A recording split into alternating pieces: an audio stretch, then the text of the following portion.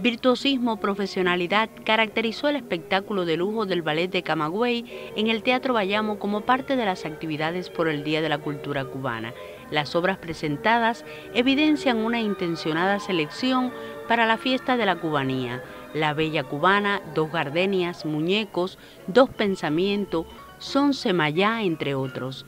La destreza en cada paso reafirman el estilo de la compañía desde lo clásico, neoclásico, hasta lo más atrevido de la vanguardia danzaria con Majísimo.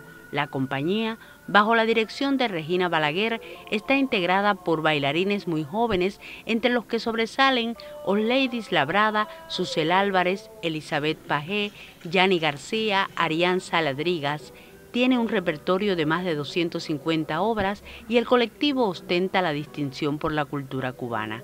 El ballet de Camagüey, con su actuación, validó la riqueza renovada del patrimonio danzario para fortalecer la cultura de la nación.